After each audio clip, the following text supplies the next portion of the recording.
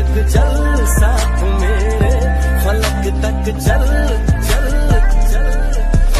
ये बादल की चादर, ये दा